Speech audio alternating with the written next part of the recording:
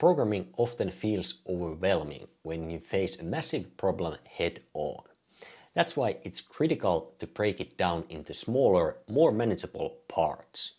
This habit not only helps you stay organized, but also allows you to solve each piece with clarity and without feeling overwhelmed. We have all faced that moment of staring at a huge problem and feeling paralyzed by its complexity.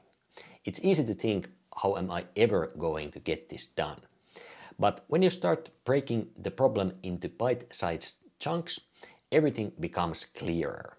Sure, it might feel slower to take this extra step at first, but solving one small piece at a time leads to quicker overall progress.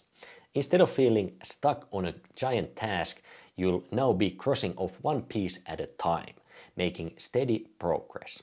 Not breaking things down only leads to frustration and you'll often waste time going in circles. So breaking problems into smaller pieces makes even the most intimidating projects easier to handle. You'll see faster progress and reduce the stress that comes with tackling large challenges.